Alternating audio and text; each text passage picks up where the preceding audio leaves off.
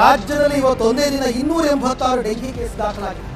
Dengue ಆರ್ಭಟ ರಾಜ್ಯಾದ್ಯಂತ ಮುಂದುವರಿತಾ ಇದೆ. ಅದೇ ರೀತಿ ಮೈಸೂರು ಜಿಲ್ಲೆಯಲ್ಲಿ ಡೆಂಗಿಗೆ ಮೊದಲ ಬಲಿಯಾಗಿದೆ. ಡೆಂಗಿ ಪ್ರಕರಣಗಳು ಬೆಂಗಳೂರಿನಲ್ಲಿ ವಿಪರೀತ ಆಗುವಂತಹ ಮಟ್ಟಿಗೆ ಈಗ ಸಂಖ್ಯೆ ಏರಿಕೆ ಆಗ್ತಾ ಇದೆ ನಗರದ ಏಳು ಝೋನ್ಗಳಲ್ಲಿ ಹೆಚ್ಚಾದಂತಹ ಡೆಂಗಿ ಕೇಸ್ಗಳು.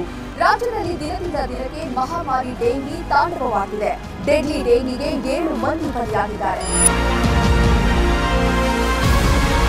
ರಾಜ್ಯದಲ್ಲಿ ಮಹಾಮಾರಿ ಡೆಂಗ್ಯೂ ಒಕ್ಕರಿಸಿ ಅಮಾಯಕರ ಜೀವ ತೆಗೆಯುತ್ತಿದೆ.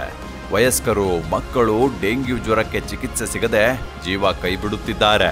ಲೂಟಿಕೋರ ಕಾಂಗ್ರೆಸ್ ಸರ್ಕಾರ ಭ್ರಷ್ಟಾಚಾರದಲ್ಲಿ ಸಿಲುಕಿ ತಪ್ಪಿಸಿಕೊಳ್ಳೋದು ಹೇಗೆಂದು ಕುತಂತ್ರ ಮಾಡುತ್ತಿದೆಯೇ ಹೊರತು ಡೆಂಗ್ಯೂವಿನಿಂದ ರಾಜ್ಯದ ಜನರನ್ನ ಹೇಗೆ ಪಾರು ಮಾಡುವುದು ಎಂದು ಯೋಚಿಸುತ್ತಿಲ್ಲ.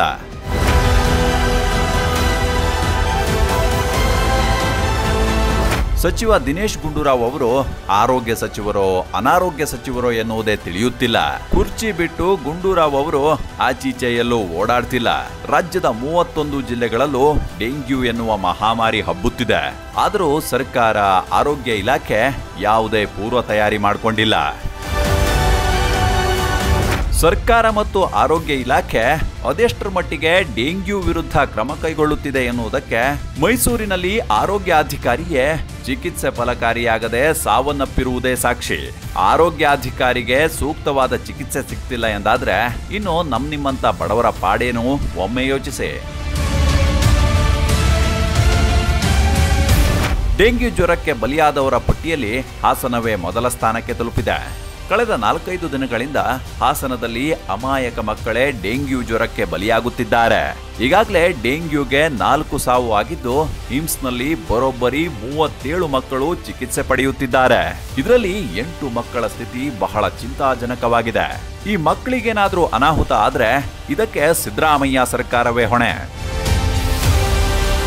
ಹಲವು ಜಿಲ್ಲೆಗಳ ಆಸ್ಪತ್ರೆಗಳಲ್ಲಿ ಕುಡಿಯುವ ನೀರು ಸೇರಿ ಮೂಲಭೂತ ಸೌಕರ್ಯಗಳನ್ನು ಒದಗಿಸದೆ ಸರ್ಕಾರ ಕುರ್ಚಿ ಕಾದಾಟದಲ್ಲಿ ಮಗ್ನವಾಗಿದೆ.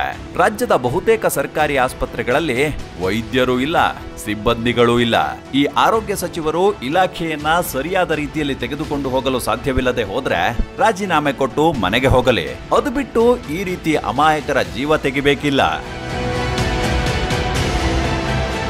ಒಂದು ವೇಳೆ ಕೊರೋನಾ ಬಂದ ಸಂದರ್ಭದಲ್ಲಿ ಏನಾದರೂ ಕಾಂಗ್ರೆಸ್ ಸರ್ಕಾರ ಅಧಿಕಾರದಲ್ಲಿ ಇದ್ದಿದ್ರೆ ಕರ್ನಾಟಕದ ಜನರು ನರಕವನ್ನೇ ನೋಡಬೇಕಾಗಿತ್ತೇನೋ ಎನ್ನುವುದಕ್ಕೆ ಇವತ್ತು ಡೆಂಗ್ಯೂ ಹರಡಿರುವ ಪರಿಯೇ ಸಾಕ್ಷಿ. ಸಿದ್ದರಾಮಯ್ಯ ಸರ್ಕಾರ ಆಡಳಿತ ನಡೆಸುತ್ತಿರುವ ಪರಿ ನೋಡಿದ್ರೆ ಜನರ ಜೀವವನ್ನ ಬಲಿ ಪಡೆಯುವುದಕ್ಕಾಗಿಯೇ ಕಾಂಗ್ರೆಸ್ ಅಧಿಕಾರಕ್ಕೆ ಬಂದಂತಿದೆ. ಭ್ರಷ್ಟಾಚಾರ ಮಾಡುತ್ತಾ ತಮ್ಮ ಕುರ್ಚಿ ಉಳಿಸಿಕೊಳ್ಳುವಲ್ಲಿ ಕಾಲಹರಣ ಮಾಡುತ್ತಿರುವ ಕಾಂಗ್ರೆಸ್ ಕನ್ನಡಿಗರ ಜೀವಹರಣ ಮಾಡುತ್ತಿದೆ.